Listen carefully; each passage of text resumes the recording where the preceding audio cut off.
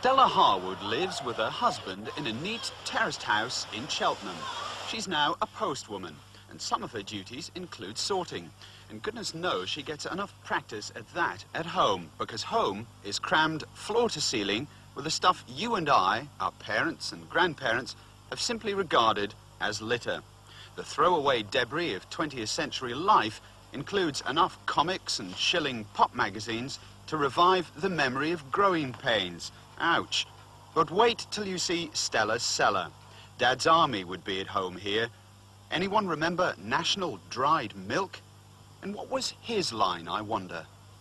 Um, this is one of my favourite um, objects, I suppose. It's a, it's a hot water bottle, I assume, in the shape, very much shape, of Rita Hayworth, probably late 50s, perhaps early 60s. That's one of the old Robertson's gollies. This particular one would have been seen in a grocer's shop, probably during the 40s and 50s. And it's precisely this throwaway quality which attracts Stella.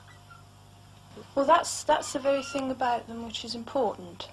I mean, um, the things that appear on people's breakfast tables, the things that are in, in the, the glove compartments of their cars, these are the things that you hardly notice, and yet you live with them. Well, I'd wager more than a roll of Everest billed here as the peak of toilet paper perfection that some will regret having thrown this little lot away.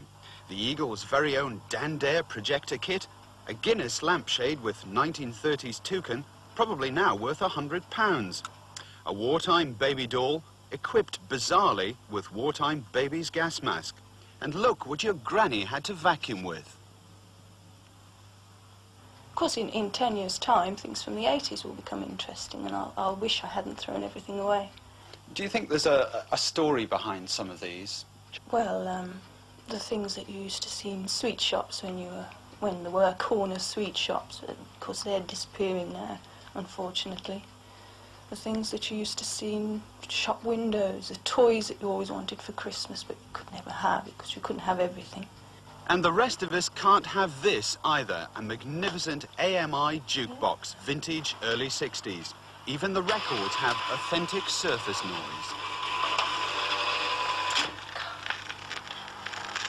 Every night I sit here by my window, window. staring at lonely avenue.